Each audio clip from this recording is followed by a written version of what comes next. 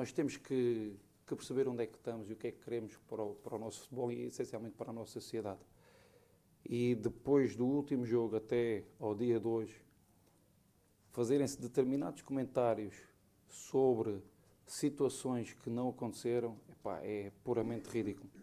Eventualmente hoje as pessoas vão pôr a mão na consciência e tanta barbaridade que foi dita sobre Gabriel e sobre Gabriel com o treinador e com os colegas e vão perceber realmente o que é que se passou e se calhar vão fazer meia culpa e eventualmente numa próxima oportunidade uh, vão ter mais calma, vão verificar realmente o que é que se passou para depois dizerem uh, em concreto coisas mais reais.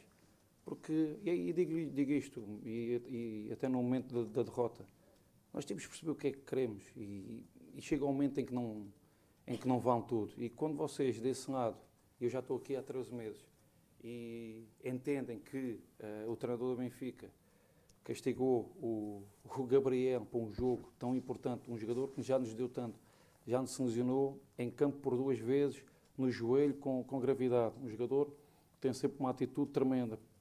Por eventualmente num jogo as coisas não lhe terem saído tão bem. O treinador, ou o treinador castigar, porque no final do jogo não comer a, a Santo Corátio e beber o small com a equipa, é nem vocês nem sabem se ele tinha autorização ou não, se o jantar é obrigatório ou não e se houve algum problema ou não.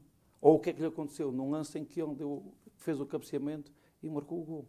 Por isso, eu acho que este é o momento certo para a gente ter também a oportunidade de refletir sobre as coisas, porque estamos a chegar a um momento em que está a valer tudo. E na nossa sociedade, no nosso país, a gente tem que ter calma, porque isto é só, é só um jogo, é só equipas nós queríamos vencer o jogo, mas o nosso dia a dia é de, de muito profissionalismo, é de, de, profissionalismo. Somos homens sérios e sem problema nenhum. Tenho-vos dito sempre aqui a verdade, por isso, quando houver qualquer coisa, serei a verdade.